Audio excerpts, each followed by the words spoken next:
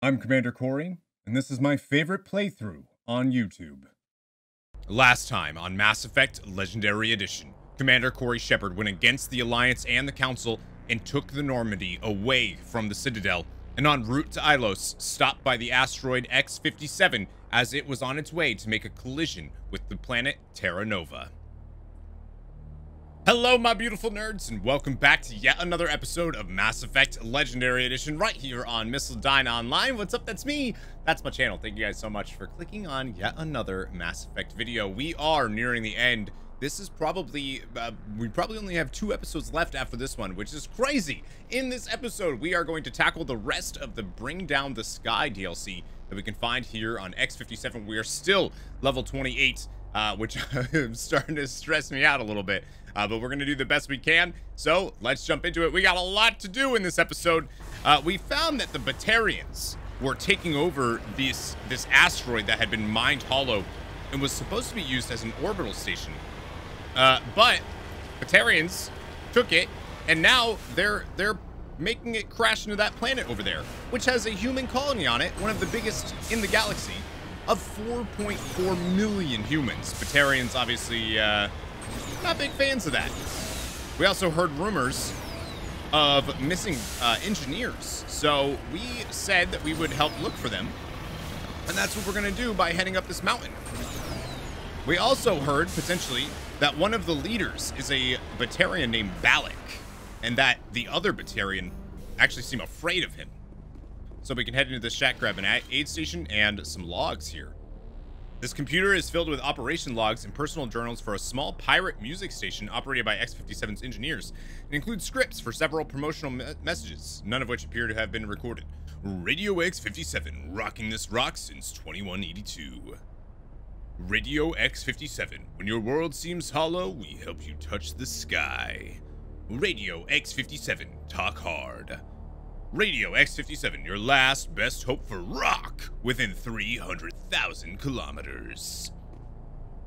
There's also another display here. Looks like we can turn on the radio.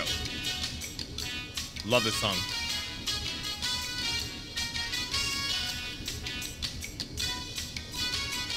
Okay, I'll I'll I'll leave now. I'll leave. I'm sorry. I'm sorry. That was that was weird. I just got I just got into it. That's all. But anyways, that was the X-57 radio station, but there's another survey station down here that we're going to go to. We already tackled this one in the first episode, and we already got the uh, one of the torches off. There are two other torches that we have to turn off. You hear me? Oh, yeah. All kinds of interference. Damn. Sorry. There's a lot of feedback. And that is Katie if I Bowman. Can fix it. In the meantime, just keep doing... But let's head to that survey station real quick. As we arrive, I, we don't see any bodies outside like we did last time, which could be a good sign. There is a secure crate that we can decrypt. And heading inside the hut. Oh, no. Another aid station and the body of. Himes. This body has severe burns and shows signs of major concussive trauma. Mercifully, mercifully, the explosion would have killed her instantaneously. This is Dr. Himes. They found me, damn Batarians. I can hear them out there prowling around, trying to find a way in. It sounds like they're attaching something to the door. If I don't make it, tell my family I love. Oh no. The explosion set off. That's the door over here. That's why we were able to just walk in, is because they destroyed the door.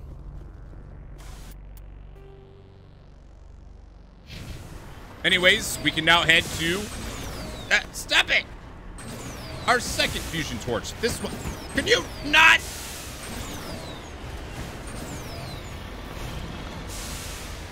This one has a ton of proximity mines all around it, which we were told that we had to be careful around. That you can't turn them off. We'll have to get out of the Mako to actually be able to get into this next facility.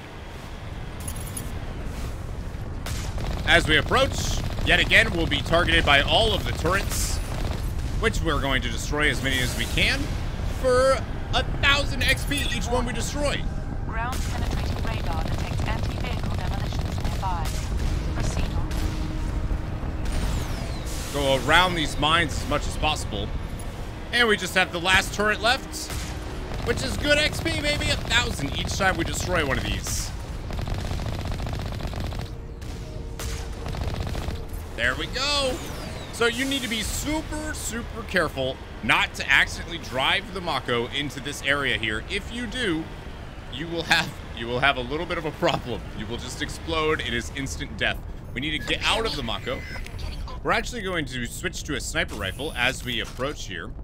And we're going to try to crouch and watch out for these mines. These are proximity mines. We want to be super careful. Now, as we approach, we'll actually see some Batarian are going to leave start heading towards us. So we pulled out the sniper rifle so that we can hopefully hit them a little bit better. We need to watch this proximity detection as much as we can and find a safe route throughout the area without setting off any of these mines here. The sooner you are able to get over to where they are, you can actually turn off a blasting cap that's outside. So we can actually just go, we don't have to stay crouched. We need to watch this proximity detection in the lower right corner. Make sure that that does not hit anything. Watch out for the rockets as we go. It is possible as well to actually throw them and send them into the blasting caps themselves, which is something that I definitely wouldn't mind doing. And let's go ahead and just disarm these traps real quick. Easy. Now we could take the Mako in if we really wanted to.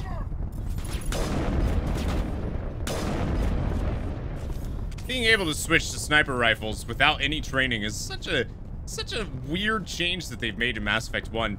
That's actually made it a lot easier to deal with certain things. Obviously, we didn't really need to, like our pistol would have done just fine as well, but still.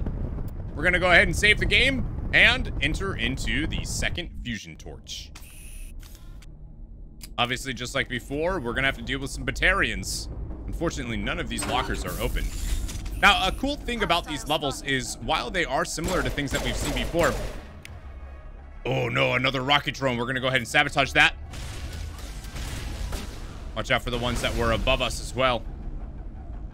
These, all of these levels were actually designed, uh, they did a, like a level design challenge thing. And that's how all of these came to be, which is why they're so different than ones that you might see while you're walking around. Now, we need to watch out because there are the rocket drones. And a, just a, a room full of enemies here.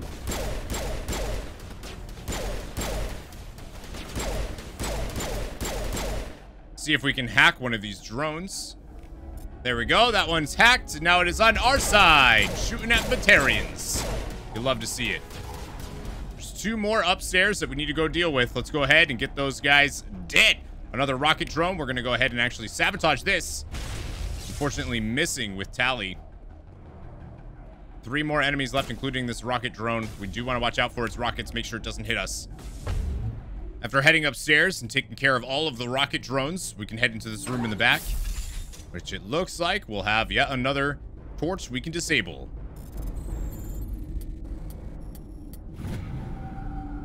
Are you there? You've got to hurry. You've really pissed them off. Their leader's setting charges everywhere. I think he's going to blow this whole facility. Get away from there! Don't shoot, please! No!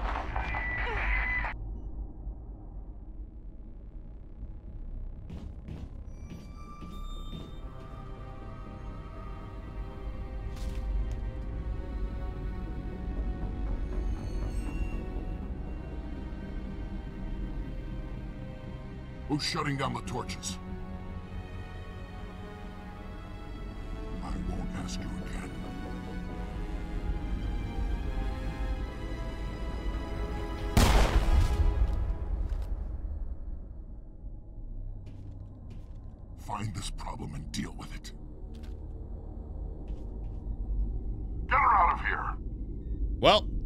Sound good. So, about these drones here, if I believe if you empty the entire room before you come up here, they actually won't activate, which means less XP for you. So, I what I like to do is I come up here first, kill all of the drones because the other guys won't follow you. They'll stay on they'll stay on the floor below, and then uh, this way you get all of the XP. In the back area on the the first floor here, we can come in and find a weapons locker. And that's everything that we can get at Fusion Torch 2. So we are out of here. Well, and this crate. Now we are out of here. So before heading to our third fusion torch, we're going to head to this survey station that's in the back here so that we can find all of the engineers that we were asked to find. And as we approach this, we discover yet another body, the body of R. Montoya. It looks like he died from a single shot through his helmet, likely from a sniper. Whoever killed him didn't even bother to search his body. There's still equipment in his service pack. And we get a Prodigy 9, which is pretty good. And the survey area is just a little bit in front of us.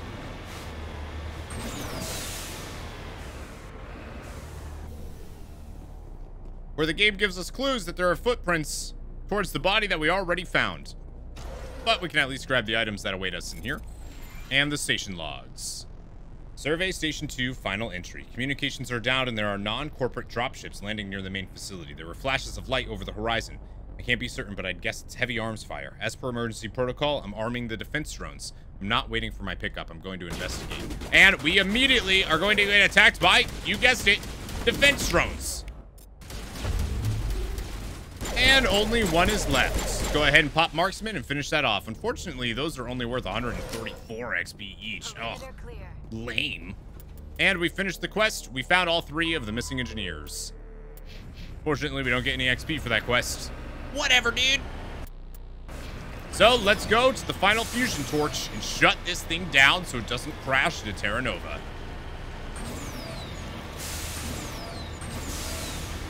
And like usual, we're going to have a bunch of turrets sitting outside waiting for us, which means free XP, baby. Let's go. All turrets gone. Mako stuck somehow. That's you. You hate. You hate to see it. Where? What just? Uh, yeah, what happened? Anyways, we can head into this facility. We're gonna go ahead and save save our game here before heading in. Though, as always, more Batarians await us.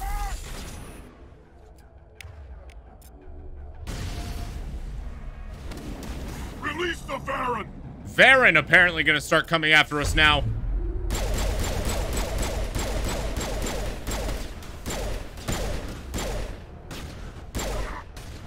There's the Varren. We're gonna go ahead, the Batarian War Beast, and we're going to Singularity.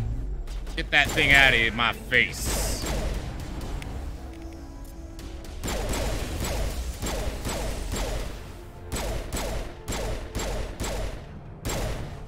Another one on its way. It looks like...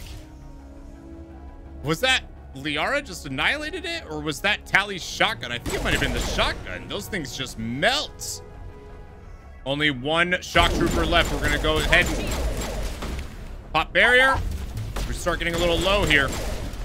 And the Batarian shock trooper's down. That's an extra 335 XP for us. Beautiful. Go ahead and open this door on the first floor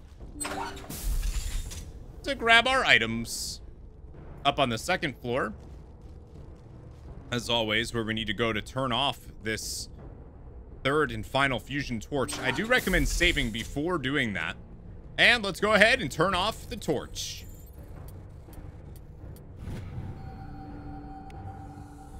Now we can head out of here, and we're going to have a surprise when we head down. Remember, Balak in that little scene that we saw Hold it with right Katie. there. This doesn't have to end in bloodshed. Ah, there he is, Charn. He sent his right-hand man Charn to come talk to us. Don't come any closer. We can do this the hard way, or we can end this peacefully. I didn't think you Batarians knew the meaning of the word. Look, I'm just doing my job here. Hijacking this rock wasn't my idea. I signed on to make a little profit. A quick slave grab, nothing more. This isn't just a slave grab anymore. Millions of people are going to die. Don't you think I know that? I'm just following orders here. If it were up to me, we'd have already left. Hmm. Well, it's not too late. You can still leave. I don't think so. Balak would skin me alive and sell my hide out of spite. Crazy bastard. This whole mission's gone to hell and I'm gonna pay for it. So why do you listen to him? Good question. I had a bad feeling about this from the moment we landed. Now Balak wants you dead. And what Balak wants, Balak gets. I can't change that. So you have an option here. You can charm or intimidate Charn, and he's pretty low. Uh, it, it, I my intimidate's not high at all, and I'm able to do it. Um, so that you don't have to attack him. So, for the purposes of our story, let's let's uh let's just show what happens if you if you charm or intimidate him. Do you always want to be second in command? Get me out of here and I'll take care of Balak. Then you can start giving the orders. Huh. An interesting proposal. It certainly has benefits over the current situation. Shut it down. This is Balak's problem now. I hope you're as quick with a gun as you are with your promises, for both our sakes. Balak will get what's coming to him, and so will you if I ever catch you in human territory again. Are we clear? Perfectly. Balak's holed up in the main facility. You'll need this to get in. Don't underestimate him. He's a mean bastard. Let's go. We're getting off this rock. And just like that, we were able to get Charn to stand down. But for the purposes of hitting level 30, we ain't doing that. So, for the purposes of XP, we're going to attack him. It actually doesn't matter storyline-wise if if you are able to charm him or intimidate him. Either way, you're going to be able to go to the main facility and Charn never, you never see him again throughout the series. So it doesn't really matter. So, XP. That's reason enough for me. Damn it. Get her. And No let's leave. absolutely murder them with a big singularity. And then we can take down this Baron and the rest of his troops that seem to uh, want to come after us. Charn with big shields there. Doing a ton of damage to me. We're going to go ahead and put him into a stasis here and a warp from Liara. Defeating Charn nets over a thousand XP.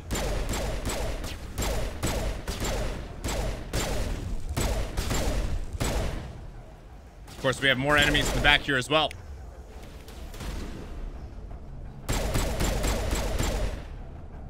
Only one more remains, a Batarian sniper in the back here. Oh, apparently one snuck by me. We found a key card to the main installation on Lieutenant Charn's body. We'll go ahead and take his key card. Oh, it's just a grenade. It looked like an enemy. Well, that sucked. So close, my friends, to level 29 now. After that battle, that was quite a bit of XP. So, Oh, like 15,000 XP basically from that. Well worth it. So let's go ahead and back to the Mako, and the only place that we can go now, my friends, is the main facility. This planet has, or this asteroid has such a beautiful skybox with Terra Nova in the background. As we approach the main facility, we will find a ton of turrets, including some that actually aren't stationary. But hey, that's XP, baby. Taking down these ones that are on uh, little moving platforms is actually pretty easy. Defeating these turrets should, if I've done the math correctly, which I probably did not, should finally get us to level 29. And I did not do the math correctly. I was, are you kidding me? Well, all we can do now is head inside to the main facility and finish up the Bring Down the Sky DLC. Heading in, seems like get a first aid station, some, oh, see blood immediately on the ground. Looks like we're gonna have our work cut out for us here. A ton of enemies already as soon as we come in. We're gonna go ahead and AI hack this defense drone right in front of us. And it's going to start doing its work on this Batarian trooper here, I hope. We were able to destroy the Batarian trooper and the defense drone. And there we go. Finally, level 29. It only took seven years, but we did it.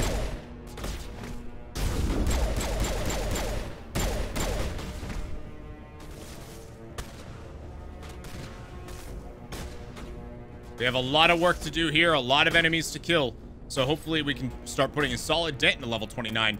We need a ton of XP. There's no possible way we are going to hit level 30 in this playthrough, uh, unfortunately. Go ahead and max out our throw there. Liara, we're going to put more points into her barrier. And some points into shotguns for Tali. And that will be it for those two. Oh, as a bunch more get called in for backup, it would seem.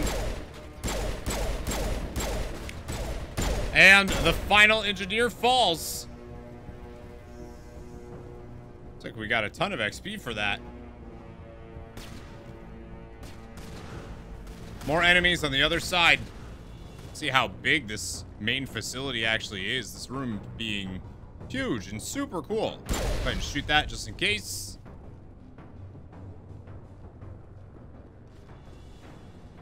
Looks like there's a room here with a bomb inside. We can't get in through this way. We have one more enemy, it looks like, on our sensors. In this room here. Apparently he wants us to die. It does not look like we're gonna do that.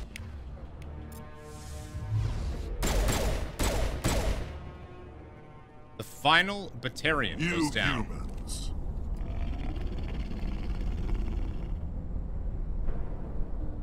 You're almost more trouble than you're worth.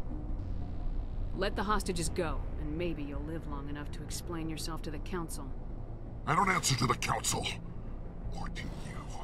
I'm leaving this asteroid. If you try to stop me, I'll detonate these charges, and your helper and her friends are all going to die. You don't get to leave, Balak. Not after what you've done. What I've done.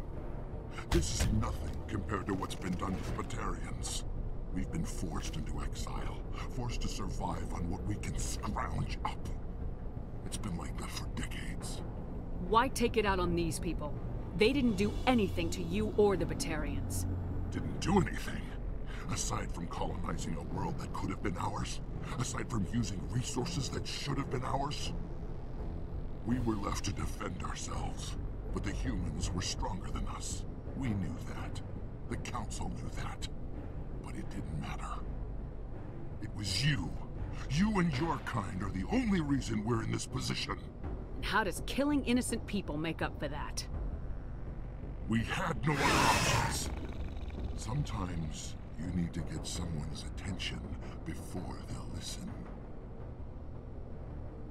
Is that what Elysium was? A way to get our attention? Well, you got it. And when we responded, you ran like cowards. Now you want to start it all over again. Enough! You couldn't possibly understand. Actually, you just don't want to understand, and I'm done wasting my breath. Now, if you want your friends to live, I suggest you step aside. We have a choice here. We can either let him go or attack him, and attacking him, of course, would bring us more XP, and that is what we need. However, this option is something that will directly affect Mass Effect 2 and 3, so we're gonna let him go to save the hostages. You can go. But this isn't over. I'll find you eventually. Maybe. But I made sure you won't follow me today. Those charges are still on a timer. Better hurry if you want to save your friends. He keeps saying friends, I don't even know them. So we have two minutes to shut down three explosive charges. We should get on that right away, or else we'll be having some problems here. We also have these defense turrets that need to be dealt with right away. We're gonna go ahead and uh, hack one of them.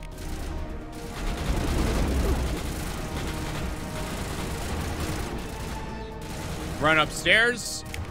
Pop barrier.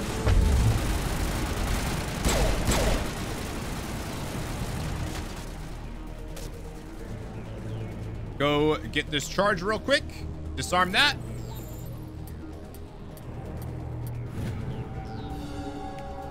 Perfect.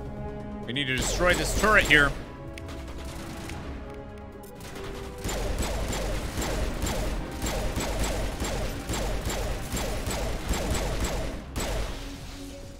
Perfect. Now we still have two more that need to be disarmed. We only have a minute left. We head down here. We can find another one.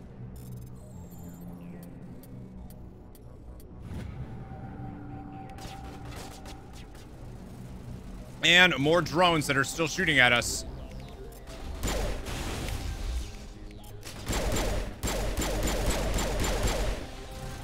Go ahead and finish off one of them. See if we have time to destroy the second one here.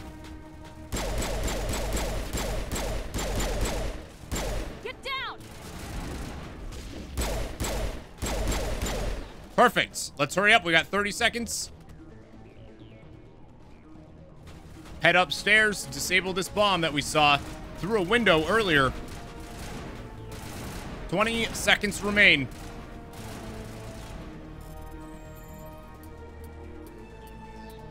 There we go. All three disarmed. All demolition charges have been deactivated.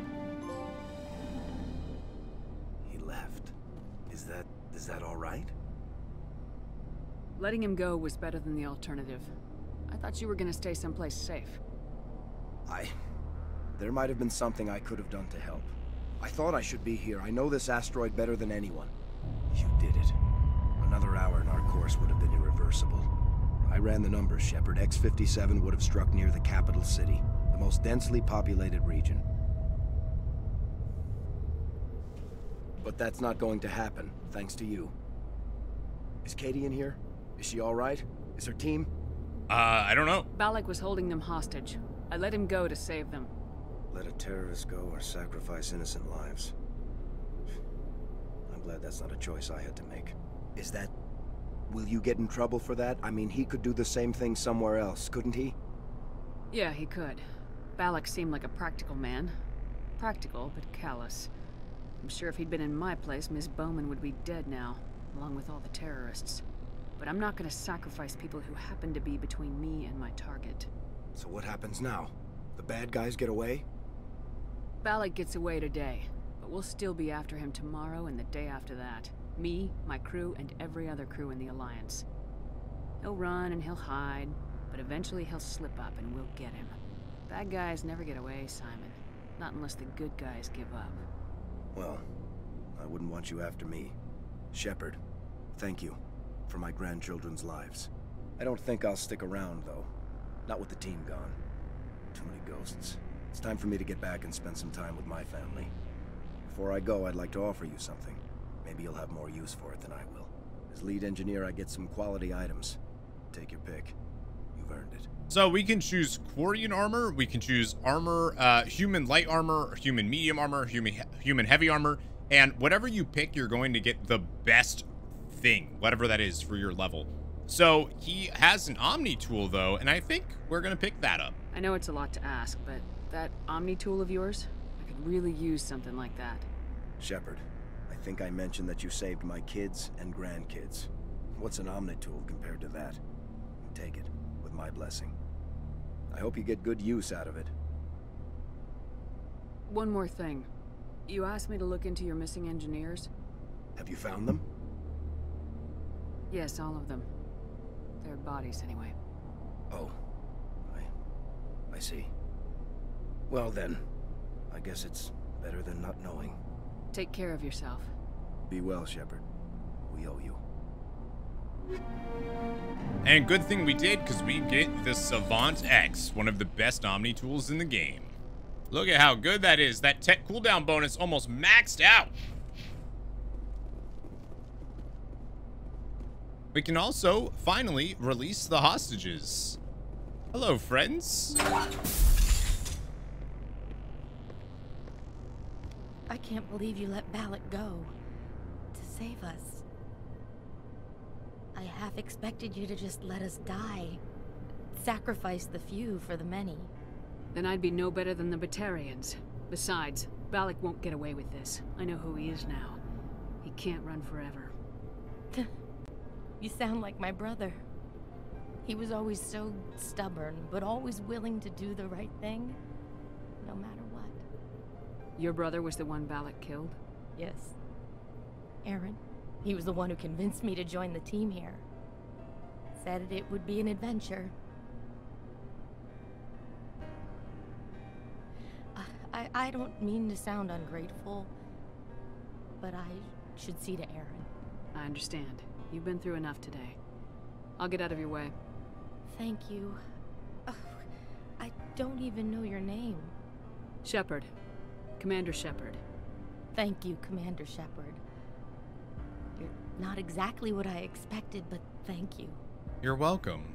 Now, the romance theme is actually playing now, oddly enough. What can you tell me about the Batarians? What were they hoping to achieve with all this? I don't even think they knew. When they first arrived, They were talking about getting us back to their ship. Wanted to sell us as slaves. When Balak showed up, everything changed. It was his idea to redirect the asteroid. Said it was the will of the Batarian Rebellion, whatever that is. They followed him quickly enough, but I, don't know. I don't think they're all as fanatical as he was. That was a brave thing you did, Kate. Contacting me on the radio, risking your life. Stubborn and determined runs in the family. My father was in the Alliance back on Earth. I think he was disappointed none of us kids signed up, but he'd be proud of Aaron. Sorry. I just... Uh, How did the asteroid get all the way over here? And why wasn't someone alerted sooner? The asteroid was scheduled to arrive in a day or two. Balak just sped it up. This rock is full of valuable minerals, but it was too far from Terra Nova to be profitable, so we attached some fusion rockets to it and drove it back. It was all going smoothly until... We'll get everything back to normal soon enough. Almost everything. I know she said that she had to go see Aaron, but apparently we just You've been through a lot. have a lot to I'll talk get out of about. way. So long, Kate. I appreciate that, Commander. Goodbye. Well, I'm glad we were able to save them. Still, though, I feel pretty bad about her brother, who she just she didn't even try to save. She just kind of turned her back on them and was like, "Yeah, what what are you gonna do?" You know? Is that Aaron? Oh yeah, that's Aaron, all right. Thank you again, Commander. You've done more than you know. Thank you so much. No, I I I know what I did. I did quite a bit. So we can head out of here. It looks like our job in the Bring Down the Sky DLC is done. Simon will be sitting here as we leave as well. We can talk to him if you'd like. Can't imagine how much you've done for all of us. I can I can kind of imagine. I just fought off a... Well, it, it's no big deal. And if we look at our journal, it'll say that we rescued the human prisoners and disabled all the fusion torches. The team will evacuate to Terra Nova and send in a repair crew to get the asteroid functional again. It is complete. Uh, you can safely free the human hostages now that the charges have been. And uh, that's it. So he survived this assignment. And how much XP? Oh, wow. We are not going to hit level 30. That's so sad. I've done literally everything in the game. That bug just... The bug that did that shouldn't have been there kind of screwed over my entire run. My friends, let's get out of here. Back on the Normandy, the only thing that we have left in our journal is Race Against Time Sovereign. We need to go to Ilos, use the Mu relay to get there, and hopefully stop Saren before he's able to activate the conduit, whatever that is, and take down uh, Saren and the Reaper of Sovereign. That is quite a goal, and I believe that we only have two episodes left of Mass Effect Legendary Edition, which is super cool. Thank you guys so much for watching this episode. Uh, I've, I've, I've loved making this series, and I hope that you guys enjoyed this series as well. Thank you for watching. Huge shout out to all of you watching in the premieres. Sincerely appreciate you guys, and uh, never give up, never surrender to Balak, the Batarian terrorist. Bye, everyone.